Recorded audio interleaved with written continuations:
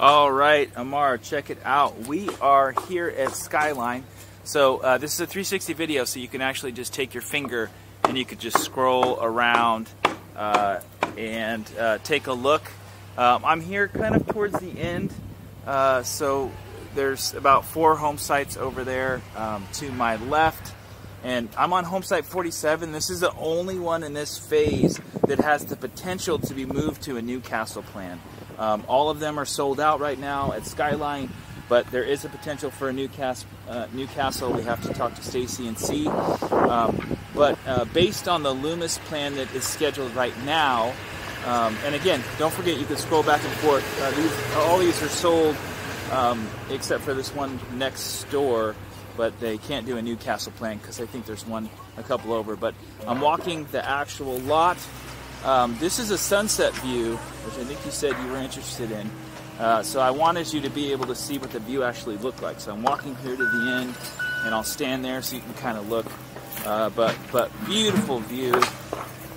Uh, as you can see, we're coming here to the end. There's a little drop off here. So uh, with the two-story, it might be a little bit. It might be a little bit uh, larger of a backyard. So good sized backyard here. Uh, and if you look from, you know, left to right, you can see Sacramento all the way over there. And then a nice tree line, and that's also Rocklin straight ahead. And then, uh, and then here, all the way far over there, there's Lincoln. So great little view here. They are going to release some other uh, another phase probably this year, but they don't have a date yet. Uh, so that is where we're at.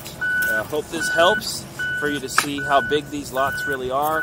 Um, I'll actually, I can walk across the other way so you can see the width. Um, but they're building right now. They're out here. Uh, so I'm here. Looks like there's going to be a little walkway here to the end just for an easement maybe.